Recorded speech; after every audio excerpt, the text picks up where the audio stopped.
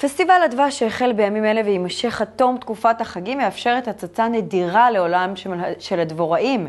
במכוורת אה, דבורת התבור שביישוב שדמות דבורה חשפו לכבוד הפסטיבל כוורת בת מאה שנה שהחיו אותה בימים אלה. בקרוב נוכל לטעום דבש חדש ממכוורת ישנה. יעל געתון כתבתנו ביקרה שם. פסטיבל הדבש שהחל בימים האחרונים מזמין את המבקרים להצצה חד פעמית בעולמם הסודי של הדבוראים.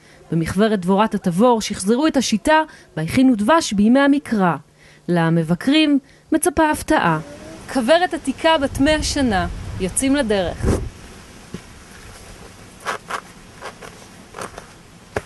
יאללה. את כוורת הטיט הזו אנחנו, אבא שלי קיבל לפני מעל 20 שנה מחבר שמצא אותה בזבל של מחסן של סבא שלו. לא רק הכוורת עתיקה, גם המסורת המשפחתית. חמישה דורות של דבוראים עוד משלהי המאה ה-19 בהונגריה. אב עובד עם בן שעבד עם הסבא. אני גדלתי כאן, אני נולדתי כאן. אה, אני למדתי את הדבוראות על הברכיים של סבא ואבא. לעבוד עם הבן זה התגלמות של חלום. לעבוד עם משפחה זה תמיד אתגר. חלום שמתגשם הוא קצת בעייתי, כי פתאום זה נהיה עובדה. במקרה שלי זה כיף לא נורמלי. אגב, לא כולם נכנסו לעסק המשפחתי. אמא שלי אלרגית. אלרגית? אמא שלי אלרגית לדבורים ברמה מסוכנת. אם היא נעקצת פעם אחת, אנחנו יכולים אה, להגיע שוב לטיפול נמרץ, כמו שכבר קרה כמה פעמים. העשן משבש את התקשורת של הדבורים, הן נשארות רגועות, וככה אנחנו נעקצים פחות. גם בועז רגוע, הוא חזר הביתה.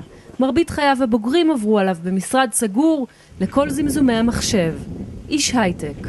אחרי עשר שנים בניאונים, מתחת לאור ניאונים, וטיסות, והרבה עבודה עם אה, חליפות ועניבות ומחשבים. אה, בן אדם צריך גם אה, שמש לאוויר, אי אפשר רק כל היום לשבת בשולחן ולעבוד מול מחשב. ואם זה לא מספיק, בועז מוציא בימים אלה ספר מתכונים. את אהבתו לבישול ולדבורים הוא הפך לספר מתקתק בשם שנה מתוקה כדבש. ואחרי כל אלה, נותרה רק שאלה אחת לברר. אתה אוהב דבש? אני מת על דבש. מי לא אוהב דבש?